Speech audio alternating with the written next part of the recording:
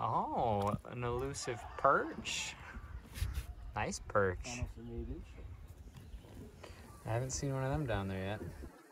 In this video, I'm out doing some fishing with my Uncle Bruce.